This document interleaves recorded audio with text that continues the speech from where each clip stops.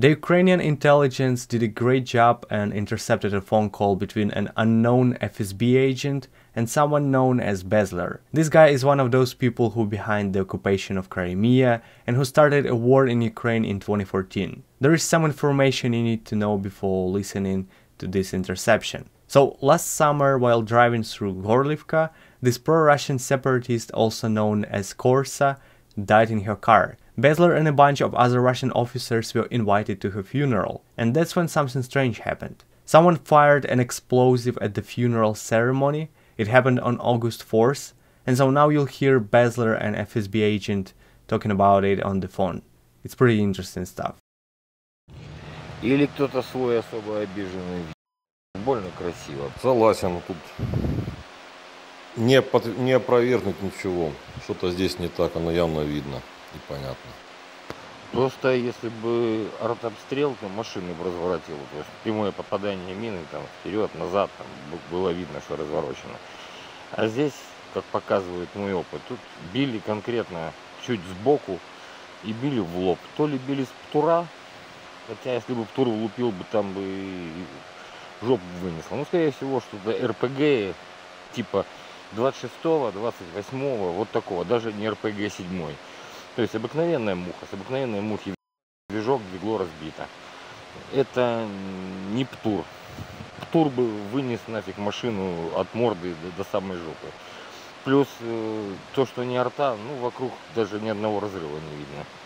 Если бы наехала на мину, то колеса подстегнулись, колеса на месте. Ну это скорее всего с мухи глубины. Ну, другого быть не, не может. Ну это я по своему военному опыту говорю. Ну, хотя могу ошибаться. Бываем. Такое ощущение, что убийство Короса, на нас специально на нас планировано, чтобы надо собрать всех и одним махом надо положить, я так понимаю.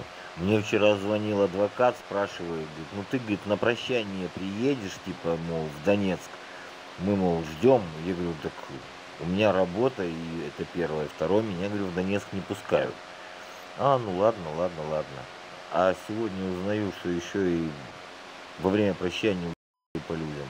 Адвокат мне звонил, спрашивал, приедет ли Николаевич. Во-первых, э, добро никто не даст, э, без добра, говорю, и рыбку не выловишь из пруда. Говорю, человек не будет э, рисковать ругаться с вышестоящими там куратами там, или директорами и так далее.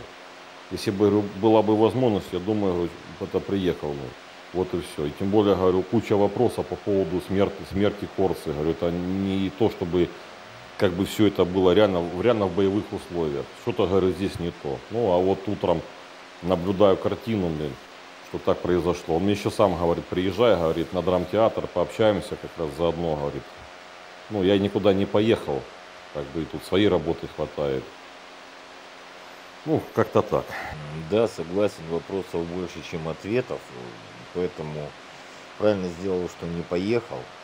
Вот. И адвокат, во всяком случае, должен знать, что я без решения большого города тоже никуда не поеду, тем более у меня сейчас даже запрет вообще за переход ленты даже в сторону Запорожской области и Херсонской. Вот. Поэтому сижу и жду того, о чем мы говорили. Поэтому у меня вообще конкретный запрет на выезд куда-либо. А тут на тебе приезжай, давай, завтра ждем. Я не, не, ребят, не катит что-то. Такое мнение сложится, что приезжать давай, всех созывали, ну, как бы я понимаю, да, Корсун не, далеко недалекий человек нам всем, но приезжать давай, завтра поговорим, вам тоже приезжать давай, так очень нас всех звали на, на верную смерть, просто. Я понимаю, когда на поле боя это еще одно, когда вот так в таком моменте, ну, не знаю, желания не было никакого ехать, потому что с вечера вот тревога, тревога, тревога. Чуйка меня никогда не подводила, вот работа еще в уголовном розыске и за эти 8 лет как бы не поехал, не поехал. Она вот свечку поставил сегодня днем это в церкви у себя. И это она поймет нас, ну, не обидится. Э, там погибших много, говорят там про трех гражданских, но я так понимаю, что если пришлись по скоплению людей, там пострадавших очень много. Я так понимаю, там должно было присутствовать почти все командование, то есть ну, одним ударом всех можно было накрыть. Э, встречался вчера с человеком, который э, буквально через э, 20-30 минут приехал на место, где погибла Корса. Автомобиль, получается, с ее стороны был вмятин. Такое ощущение, что в нее кто-то целенаправленно ехал и въехал. Водитель поэта живой, ни одного осколка, ни одного посечения на, на автомобиле нет. И автомобиль, скорее всего, подпалили. Это вот мнение со стороны человека, который ранее служил в 14, 15, 16 и 17 году и ушел. А что водила говорит? Он же должен все это дело было видеть и рассказать, если он не пострадал. Так понимаю, водила молчит. Либо ему сказали молчать. Насчет водила я не знаю, пацан к нему не подходил, но он живой, говорит. И, и тупо тишина. Ну, значит, это не совсем те ребята, в чьей форме я стою на фотографии и на видео. Как со стороны, по мнению, со- это, по мнению человека со стороны, что в нее просто въехали. Мне кажется, просто ее убрали, да и все. Сейчас проще убрать и дать героя ДНР или России. Э, знакомый почерк.